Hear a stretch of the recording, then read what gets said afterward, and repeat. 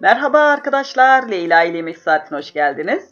Hani geçenlerde Instagram ve Facebook sayfamda bir soru sormuştum. Önünüze bir hamur e, koymuştum. Demiştim ki bu ne? Bilin bakalım bu nedir? Ben bununla ne yapacağım?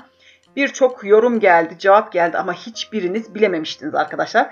Bu hamurla tatlı bir şeyler yapacağım dedim. Hmm, yine bilemediniz. Yani doğru cevaplar gelmemişti. İşte o hamurla bugün sizlere Apfelnusszop mit Streusel tarifini yapıyorum arkadaşlar. Türkçe ismi bu Alman tarifi olduğu için şimdi Türkçe nasıl çevireceğim? Bir dakika hemen düşüneyim. Elmalı, e, cevizli, e, top, örgü. Evet, elmalı, cevizli örgü çörek tarifi. Buldum. Elmalı, cevizli örgü çörek tarifi. Ee, bir değişik ismini daha yazabilirim belki. Bu muhteşem tarif inanılmaz güzel mutlaka yapmanız lazım. Şimdi info kısmına malzemeleri yazıyorum ve hemen tarifimizin yapılışına geçelim. Arkadaşlar yoğurma kabımızın içine ılık sütümüzü alıyoruz. Daha sonra kuru mayamızı, daha sonra böyle bir fiske tuzumuzu, şekerimizi ilave ediyoruz arkadaşlar. Şöyle bir karıştıralım. Daha sonra da sıvı yağımızı ilave edelim ve unumuzu da ilave ederek ele yapışmayan poğaça hamuru şeklinde e, güzel bir hamur yoğuralım. Bu tür tarifler Türkiye'de biraz e, yabancı gibi gelebiliyor çünkü bazı arkadaşların damak tadına uymayabiliyor. Ama biz e, yurt dışındakiler gerçekten bu tarifi çok seviyoruz. Hazırlanını biliyorsunuz. Hazırlana bir sürü para vermektense evde yapmayı tercih ediyoruz. O yüzden çocuklarım çok özlemişti. Anne ne olur e, Apfel e, Mitnus Top yap diye. Ben de dedim ki hazır yapacağım. O zaman tarifini yapayım. Sayfama da yükleyeyim. Çünkü elmalı olanı yok. Haşhaşlı olanı var. Henüz elmalı olanı yok. Evet arkadaşlar hamurumuzu yoğurduk. Güzel streç folyo ile de üzerine kapatalım. Hamurumuz kurumasın. Daha sonra da temiz bir bez örterek böyle bir iki saat mayalanmaya bırakalım.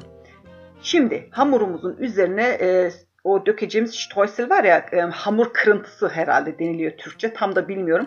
Onu yapmamız için e, böyle karıştırma kabımızın içine şeker, eritilmiş tereyağı ve unumuzu alıyoruz arkadaşlar. Bu üçlüyü iyice birbirine yediriyoruz. E, elinizde de yoğurabilirsiniz. Spatula'ya gerek yok. Ben hani çok fazla elimi bulaştırmamak için spatula ile yoğurdum. Bunu yoğurduktan sonra böyle biraz donması için buzdolabına kaldırabiliriz. Derin dondurucu değil buzdolabı. Şimdi hamurumuzun iç malzemesi için elmalarımızın kabuklarını soyalım. Güzelce rendeleyelim. Rendeledikten sonra e, genişçe bir tenceremizin içine elmalarımızı alalım arkadaşlar. Karıştıralım iyice. Elmalar suyunu çekene kadar karıştırma işine devam edelim.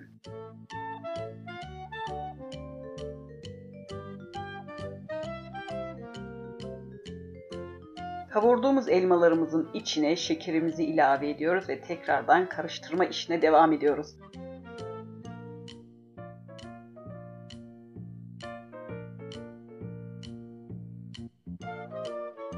Şeker ve elma e, buluşunca hafif böyle bir yine sulanıyor. Suyunu çekene kadar kavurun. İyice suyunu çekmesi lazım. Şu kıvama gelmesi lazım arkadaşlar. Suyunu çektikten sonra tarçınımızı ilave edelim. Karıştıralım. Sonra da ceviz içini, dövülmüş ceviz içini ilave ediyoruz. Son bir kez karıştırıp ocağımızın altını kapatıyoruz ve elmalı iç harcımızı soğumaya bırakıyoruz.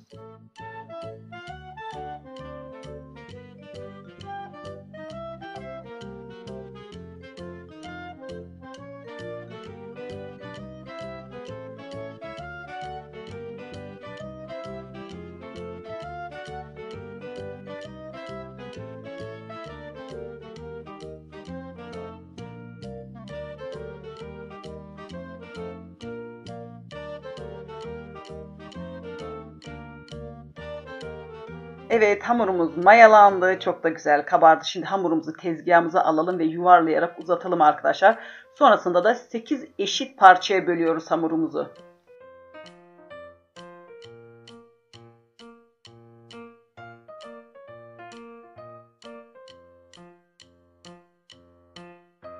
Bu tariften iki tane çıkıyor arkadaşlar. Verdiğim malzemeden daha doğrusu iki tane çıkıyor. O yüzden 4-4 yapacağız. Ee, sakın hani aklınız karışmasın.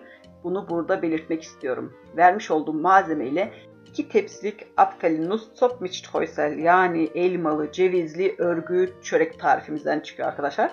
Bakın Türkçe ismini de hemen bulduk bu arada. Şimdi bütün bezeleri e, şöyle bir yuvarlayalım. Tekrardan e, tepsimize koyalım. Üzerini yine kapatalım arkadaşlar. Yarım saat kadar yine mayalanmaya bırakalım.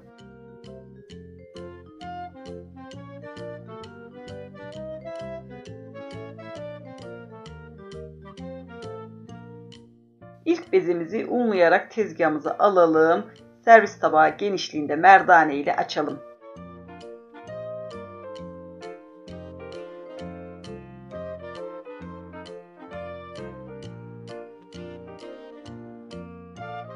Açtığımız bezemizi yağlı kağıt serilmiş tepsimizin üzerine koyalım ve üzerine eritilmiş tereyağından bolca sürelim.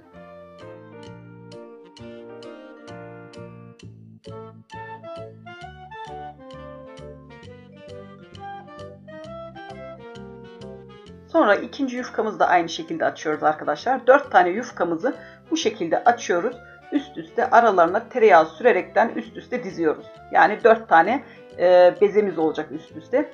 Diğer 4 tanesini de ayrı bir şekilde yapıyoruz. Bu tariften hani bu malzemeden 2 tane tarif çıkıyor dedim ya o yüzden 4-4 kullanıyoruz arkadaşlar malzememizi.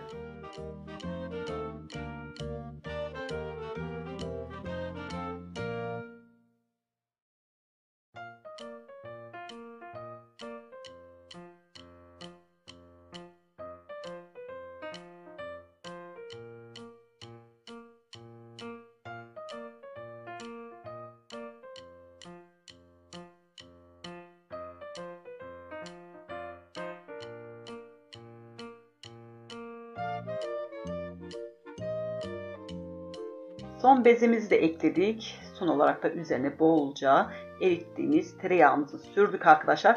Şimdi üzerini kapatıp iki tepsiyi de yaptım yani hazırladım. Üzerini kapattım. Şöyle yarım saat kadar dinlenmeye bıraktım arkadaşlar. Yarım saat dinlenen bezemizi alıyoruz. Şöyle yağlı kağıtla şöyle tezgahın üzerine ters çeviriyoruz ve elimizde zaten hamur böyle mayalandığı için çok güzel açılıyor. Elimizde yayarak ters düzde yaparak genişlete genişlete kocaman bir yufka haline getiriyoruz. Tabii ki yufka gibi ince olmayacak. Sadece e, genişletebildiğimiz kadar genişletiyoruz ama asla yufka gibi ince değil arkadaşlar. Yani ne derler şu lavaş ekmekler oluyor onun kalınlığında diyeyim ben size. Açtıktan sonra soğuttuğumuz elmalı iç harcımızdan bolca koyuyoruz böyle. Bolca elimizle de bastırarak her tarafına gelecek şekilde düzlüyoruz.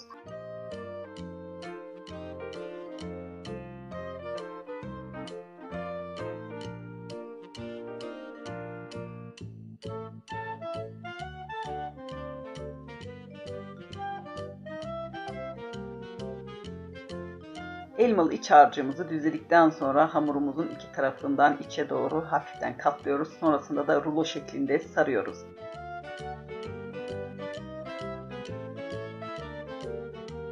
Şimdi geldi şekil verme kısmına. Arkadaşlar ben şekli bozulmasın diye ilk önce e, bu taraftan böyle bir kestim. Ondan sonra karşı taraftan da kestim ama ortada küçük bir hamur e, bıraktım. Hani e, hepsini kesersem yayılırdı, dağılırdı, e, örgü şeklini veremezdik diye.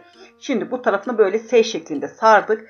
E, diğer karşı tarafını da yapacağımız için artık şu orta kısmını hepten kesebiliriz. Hani artık hamur dağılmaz ve böyle S şeklinde dolayarak hamuru birbirine sarıyoruz arkadaşlar. Sonra yağlı kağıt serilmiş tepsimizi alıyoruz. Üzerine de e, yumurta sarısı sürüyoruz. Şu kenar kısımlarına yumurta sarısı sürelim. Daha sonra da e, bu hamuru hani dolaba koymuştuk ya işte hoysel dediğimiz e, hamur kırıntısı oluyor üzerinde böyle. Çok lezzetli bir şey. Tatlı olduğu için inanın çok yakışıyor. O yüzden bu tür tariflere daha çok yakışıyor. Ben e, bu tarifte kullanmak istedim. Evet şimdi o hamurumuzdan elimizde böyle un ufak yediyoruz. Parça parça edip iyice e, çöreğimizin her tarafına gelecek şekilde e, yapıştıralım. Böyle elimizde de hafif bastıralım ki yapışsın. E, her tarafı yani bu hamur kırıntısından oluyor arkadaşlar. Stoysel'den oluyor. Çok lezzetli oluyor, lezzetli oluyor piştikten sonra. İnanın bu tarifi bir denemeniz lazım. Denedikten sonra asla pişman olmayacaksınız. Böyle farklı tariflere açık kişiyseniz eğer e, bence çok beğeneceksiniz. Ama hani benim eşim gibiyseniz asla beğenmezsiniz. Çünkü o kuru fasulye, nohut, yemek. Onun öyle. Bir de şey bisküvili pudingli pasta başka hiçbir şey yemiyor öyle doğru düzgün. Yani onun gibiyseniz beğenmezsiniz en baştan söyleyeyim ama benim gibi e, farklı lezzetlere açık bir insansanız inanın çok beğenirsiniz. Evet hamurumuza sürdük. Şimdi 170 derecede arkadaşlar pişecek yavaş yavaş. Yavaş yavaş 170 derecede iyice üzeri kızarana kadar pişiyor arkadaşlar. O kadar lezzetli oldu ki piştikten sonra ne mi yapıyoruz? Evet şu an size gösteriyorum. Şu içine bir bakın. İçine baktıktan sonra zaten nasıl lezzetli bir tarif olduğunu göreceksiniz. Şunun şu güzelliğine bakar mısınız kızlar ya? Gerçekten yani yapılması gereken bir tarif. Hamurlarda dört kat kullandık ya milföy hamuru gibi oldu içinde. O kadar lezzetli oldu ki ben bu tarifi kursa da götürdüm. Kurstaki arkadaşlarım da çok beğendi. Normalde yabancı bir tarif yani herkes beğenmeyebilir ama çok beğendiler. Hele benim çocuklarım zaten inanılmaz beğeniyor. Şimdi şimdi bu güzel tarifi şöyle dilimleyelim. Üstü kıtır kıtır oluyor arkadaşlar. İçi yumuşacık ama üstü kıtır kıtır muhteşem bir lezzet. Ya aslında benim anlatmama gerek yok. Siz yapınca zaten bu tarifin lezzetini göreceksiniz. Almanya'da yurt dışında yaşayan arkadaşlarımdan da yorum bekliyorum. Çünkü onlar bu tarifin lezzetini biliyorlar. O yüzden onların da yorumlarını bekliyorum. O kadar güzel oldu ki bizler çok beğendik. Umarım yapınca sizler de çok beğenirsiniz. Şimdiden tarifimizi yapan herkese afiyetler olsun diyorum ve bir sonraki tarifte görüşmek ümidiyle kendinize çok iyi bakın. Hoşçakalın.